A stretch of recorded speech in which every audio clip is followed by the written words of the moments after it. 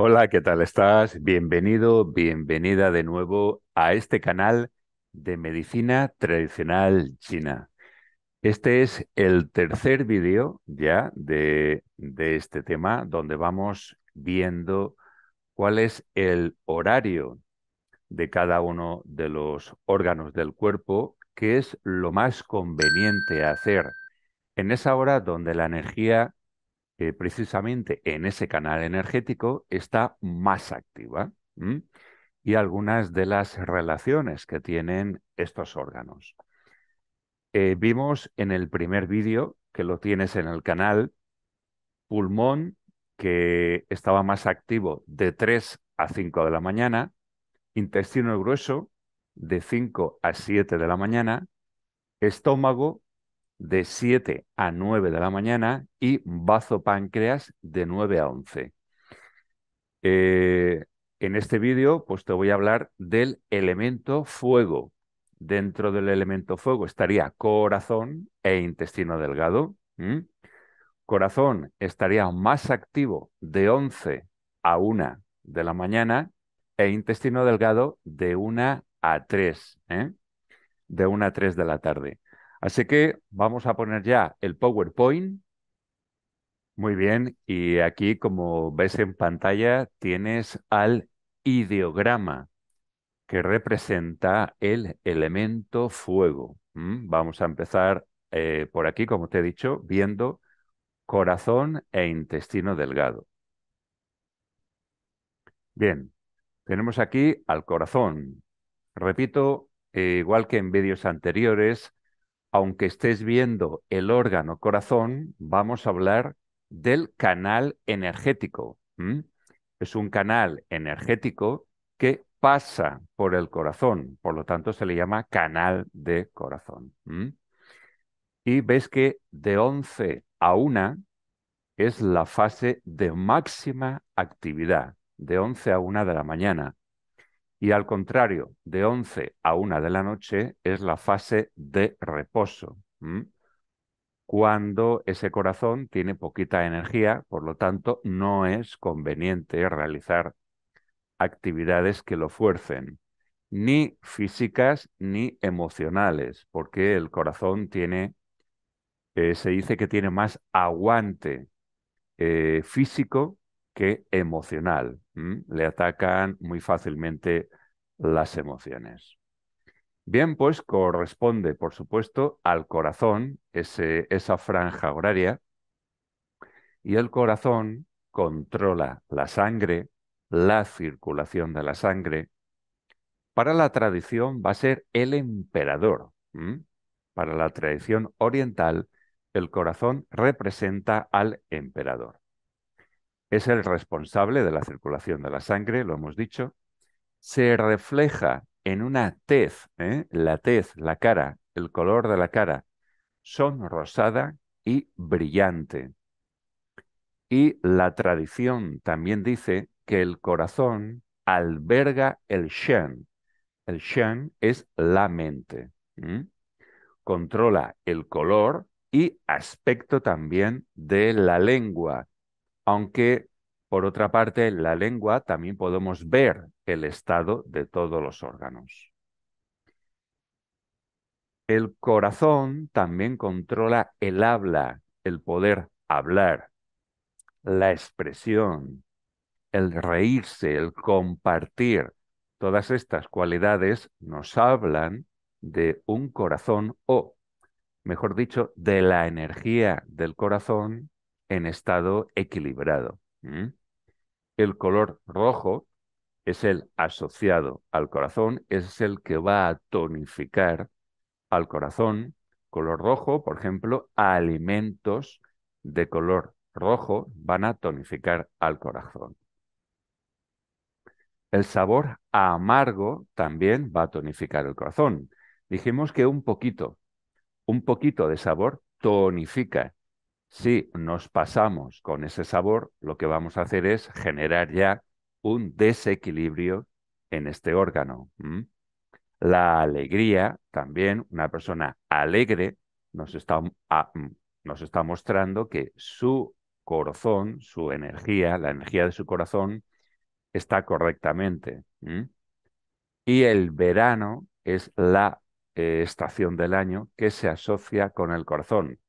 Cuando llega, antes de que llegue el verano, hay que empezar a tratarse un poquito el corazón mediante puntos de digitopresión, ejercicios de Qigong, para fortalecer esa energía del corazón y que el verano, sobre todo el calor del verano, no incida en él. Bien, ¿qué podemos hacer en esta hora de 11 a 1 de la mañana, donde el corazón está en fase de máxima actividad? El corazón, para la medicina china, nutre la mente y el espíritu. Por lo tanto, es un buen horario para revitalizar el espíritu. ¿Cómo? Pues conversando, compartiendo. Aquí te dejo eh, una lámina que he encontrado del trayecto energético del corazón. Empezaría, eh, si te vas al dibujo pequeñito que hay a la derecha, ahí ves que comienza justamente en la axila. Ahí, en ese hueco axilar, ahí empezaría el canal de corazón. Recorrería la parte central del brazo y antebrazo, ¿eh? como ves ya en el dibujo grande, justo, justo por la parte central, ¿eh? y terminaría en el dedo meñique, en el dedo meñique en su lado, en la parte interna, la parte que está cerca del cuarto dedo. Ahí es donde terminaría ese canal de corazón que es bilateral, ¿eh? se encuentra en los dos lados. Vamos a ver ahora un poquito la sintomatología del corazón. Cuando tenemos un desequilibrio energético en el canal energético, ¿eh? energético de corazón, pero que puede haber pasado ya a nivel físico. Por ejemplo, aburrimiento. El aburrimiento puede generar, porque esto va, lo he dicho también en otros vídeos, esto va en una dirección y en la otra. Es decir, si yo me aburro, porque no tengo, eh, no tengo nada que hacer, ese aburrimiento a la larga puede desequilibrar al corazón. Y si, por, lo, por el contrario, tengo un desequilibrio en el corazón, eso me puede producir aburrimiento, o bien tristeza, falta de alegría, dolor en el pecho, por supuesto, alteraciones en el ritmo cardíaco, como por ejemplo palpitaciones, extrasístoles, también un infarto, distermia, es decir, mala regulación de la temperatura del cuerpo, sintomatología de calor, es, eh, ¿cuáles, eh, ¿cuáles son los síntomas de calor? Pues llagas, rojez, un sarpullido, un herpes, bien sea herpes zoster, herpes labial, herpes oftálmico, cualquier tipo de, de herpes que te quema, ¿eh? ese quemazón, ese calor que podemos sentir, eso es un síntoma de calor y pertenece al corazón. Lipotimia también, hemos dicho que el corazón es el que controlaba la sangre, la circulación de la sangre, por lo tanto, estados de lipotimia, desmayos. Sudores nocturnos, aquí no hay que confundir el típico sudor, la transpiración, la hiperhidrosis, eso está relacionado con el elemento metal, el pulmón. El pulmón que ya lo vimos en el primer vídeo. Aquí estamos, estamos hablando de un sudor, pero nocturno, es decir, que sucede por la noche. Esto está ya más ligado al corazón. Y las personas que tienen un desequilibrio en el, en este reino mutante o en este elemento del fuego, pues puede que tengan una tez muy rojiza, incluso el olor que despiden es un poquito olor a quemado. Es muy sutil, por supuesto. Bien, como puntos más importantes del canal energético de corazón, he puesto este, ¿eh? El 7 de corazón, Shan, man. Man es puerta, Shan es espíritu. Por lo tanto, fíjate qué nombre más bonito. Puerta del espíritu. Es un poquito cuando se trabaja este punto, es abrir esa puerta del espíritu un poquito para respirar, para relajarnos. Este punto se utiliza para cuando la persona ha entrado en shock, le está dando un ataque de, de, de, ansiedad, está nerviosa, algo le ha pasado, necesitamos tranquilizarla, recurrimos a este punto 7 de corazón. El 7 de corazón también se utiliza para problemas a nivel de corazón, sea el que sea. Es el punto tierra de corazón y todos los puntos tierra lo que van a hacer es equilibrar. En este caso, el 7 de corazón va a equilibrar la energía del corazón. Ahí lo ves eh, marcado. Está en la línea de flexión de la muñeca. En la línea de flexión de la muñeca, ahí el puntito verde que ves de la fotografía. A la derecha del punto verde está el hueso.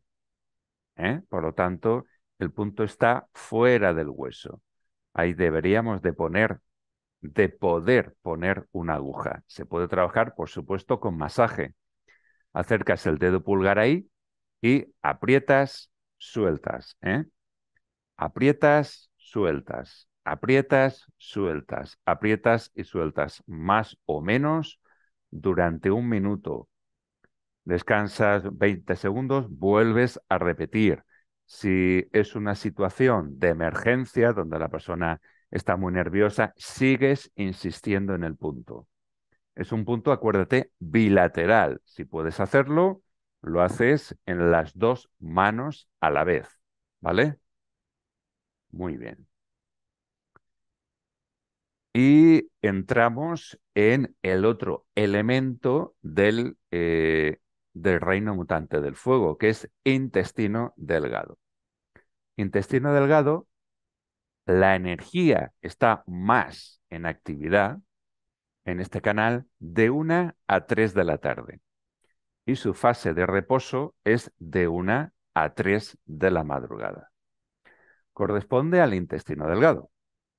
Controla la recepción y transformación de los alimentos. Lo que no vale lo va a mandar al intestino grueso para su posterior eliminación. ¿Qué hace el intestino delgado? Separa los líquidos, los cuales manda al intestino grueso. Está relacionado también, al igual que el corazón, con el sabor amargo y el color rojo. ¿Qué podemos hacer en esta, franja horaria de 1 a 3 de la tarde? Al trabajar el intestino delgado, separando y distribuyendo los nutrientes digeridos, se recomienda caminar un poco y combinar con masajes en el abdomen. Por lo tanto, esto que se decía, lo decían eh, nuestros padres, nuestras abuelas. Eh, una, eh, hay, que hay que caminar, hay que andar después de comer, que eso sirve para bajar la digestión. Bueno, pues tenían razón, ¿eh? Un poquito, ¿eh? Caminar, moverse un poquito. No lo que hacemos muchas veces de darnos una buena comilona y como tenemos el estómago pesado, acostarnos. Eso no nos beneficia. ¿eh? Bien, te he puesto aquí también ahora el canal energético del intestino delgado y eh, que está pintado ahí en esa línea de color naranja. Va a empezar también ¿eh? en el dedo meñique de la mano. Hemos visto que corazón terminaba en ese dedo Y ahora lo que va a hacer intestino delgado es empezar en ese dedo. Va ascendiendo justamente por ahí, por donde ves, pasa por la escápula, ¿eh? por la escápula, cuello y termina ahí justamente en la oreja, canal de intestino delgado. Y un poquito la sintomatología de este canal. Cuando tenemos un desequilibrio a nivel de intestino delgado, podemos sufrir diarreas, abombamiento abdominal, es decir, hinchazón abdominal, espasmos digestivos y volvemos también como el corazón, porque los dos pertenecen al mismo elemento, la persona puede tener esa tez rojiza y desprender un sutil olor a, a quemado. Y vamos con los puntos. Aquí te he puesto un punto que es el 3 de intestino delgado. How she. Continuidad del torrente sería la traducción. Y está justamente ahí donde ves. Para localizarlo, pues tienes que flexionar un poquito la mano y cuando cierras la mano, ahí donde está el punto rojo, ves que se va a hacer un pequeño, una pequeña arruguita, ¿eh? una pequeña arruguita. Ahí tienes que apretar. Siempre tienes que apretar el punto para ejercer un estímulo. ¿eh? Si te duele, te está hablando del punto. Pero bueno, intenta aflojar un poquito, si te duele. Es el punto de tonificación de intestino delgado, por lo tanto, lo va a poner en marcha. Pero también es el punto maestro, ¿eh? fíjate, el punto maestro del cuello y de las cervicales. Es un punto que nos va a servir para cuando tengamos tensión en la nuca, no podamos mover el cuello, por ejemplo, pues si tenemos una tortícolis. ¿eh? Este punto nos va a servir eh, muy bien para eso.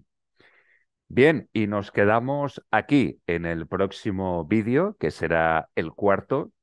Entraremos en el elemento agua, donde vamos a ver riñón y vejiga. Pues nada, como te decía, en el próximo vídeo veremos estos elementos de riñón y vejiga. Espero que te haya gustado. Quiero mostrarte mi página web que tiene este nombre, moisésgarciablasco.com.